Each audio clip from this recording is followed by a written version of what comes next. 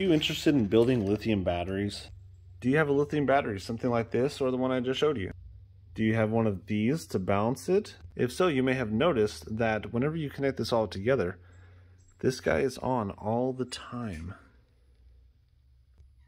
So one thing about these is they have a little run switch over here. It's basically two copper tabs that are soldered together.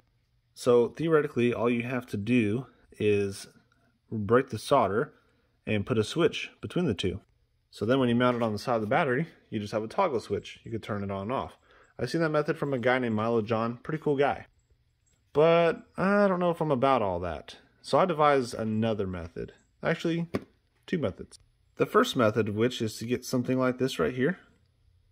It's a little DC relay and putting it on the board. If you simply glued it on the board right there, run some wires, basically run two wires there, one to the negative, and it'll give you one positive wire that you can send to any positive 12 volt switch source in the whole truck, like the ignition, remote wire, another switch, etc. But I thought that was kind of big and bulky, so I had a better way. Introducing the transistor. This little guy right here is very small. And what it is, it's basically an electronic relay. This one here is a 2N3904. And all it did was bend the little legs up like that, soldered onto those two, and that one in the middle, that little leg right there, you run it to a resistor. This is a 4.7 kilo ohm resistor, so about 5,000 ohms.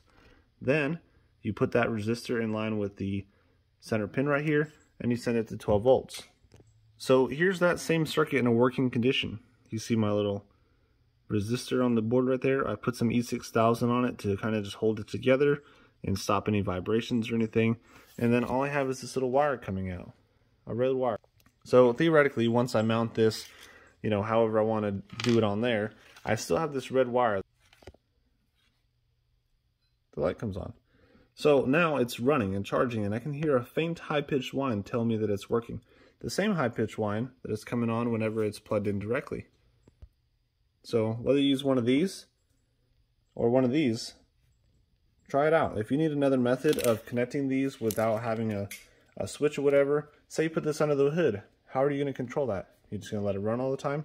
I know it doesn't pull a lot of power, but if it sits for a while, it can be problematic. So that's it. That's my little trick right there. Transistor and a resistor. That's all you need to be able to turn this into a slave unit with no switch.